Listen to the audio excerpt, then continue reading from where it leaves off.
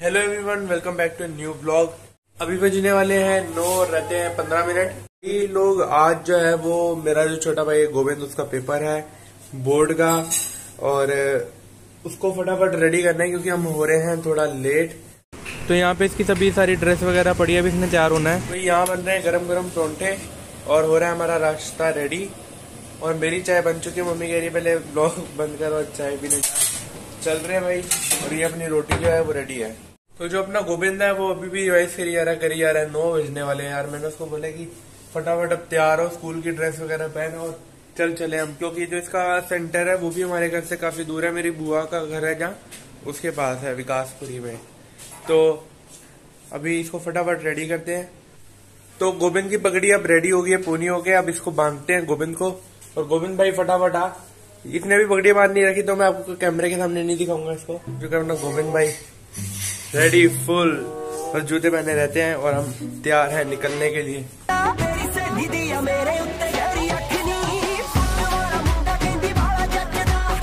तो अब हम हो चुके हैं थोड़ा सा लेट पर फिर भी हम कोशिश करेंगे जल्दी पहुँचने की। अपनी जो है बाइक और स्कूटी दोनों रेडी हैं। स्कूटी है, उस पे जाएँगे पापा और गोविंद और मैं अपना चलूँगा बाइक पे। और बताना मेरे को ये स्कूटी पे और अपनी बाइक पे स्टिकर्स कैसे लग रहे हैं अपने चैनल के नाम के। कि जब हम ब्लॉग बनाने निकलते हैं तो काफ़ी दिक्कत होती है, काफ़ी सारे लोग आके पूछते हैं कि आपके चैनल का नाम क्या है चैनल का नाम क्या है। तब उनको बताने में आसानी होगी सीधा, कि बगनीत सिंह ब्लॉग सीधा फ़ोन लो, उठाओ सब्सक्राइब करो। जल्दी पहन यार।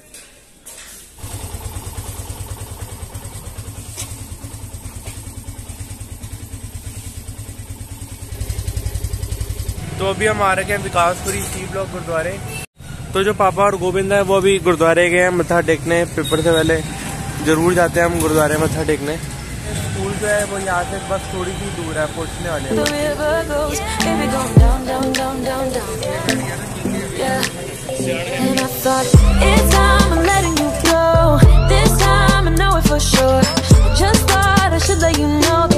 तो अभी हम पहुँच चुके हैं गोविंद के एग्ज़ाम सेंटर पे जहाँ पे गोविंद का बोर्ड एग्ज़ाम होना है और यहाँ पे अभी जो टाइम है, वो हो रहा है टेन फिफ्टीन अच्छा हम जल्दी पहुँच गए। मेरे को तो लग रहा था लेट हो गए थे।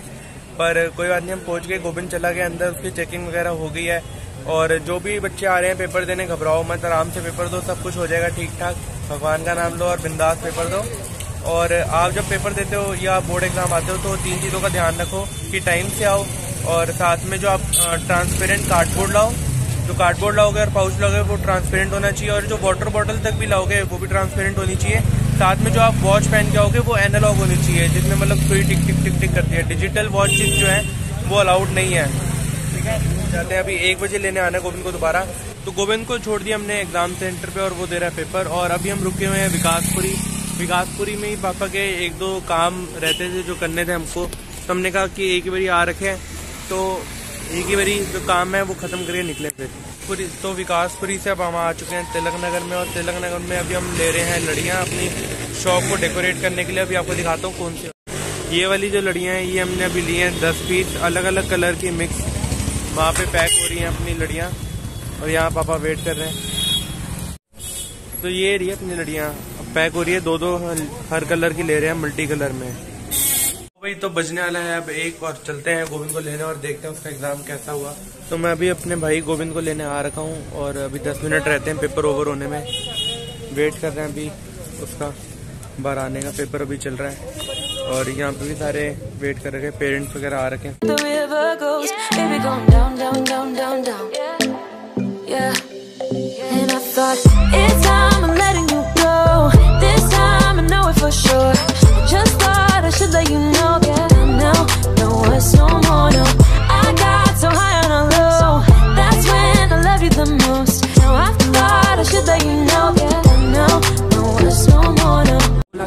पेपर हो गया ठीक?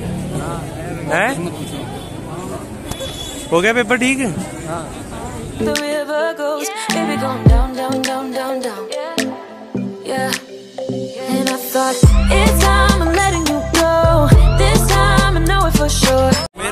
गोविंद आ चुका है पेपर दे के कैसा गया गोविंद पेपर? आज इसका एस का पेपर था। ठीक है पेपर आसान आया था मुश्किल आया था। बड़ा मुश्किल थोड़ा आसान। अच्छा बड़े सारे स्कूल के बच्चे आ रखे हैं अलग अलग एस एस के तो इतने बच्चे हैं पूछो मत। और अब तेरा कार्डबोर्ड देख दूँगा। मेरे पे तो ये पहला गोविंद ये तेरा बोर्ड का कौन सा पेपर था? सेकंड पेपर अब अगला पेपर कब है? परसों। किस चीज़ का? साइंस का। होगी उसकी तैयारी? नहीं अभी कहा? कल शुरू करेंगे। पढ़ता लिखता तो वैसे ही नहीं है।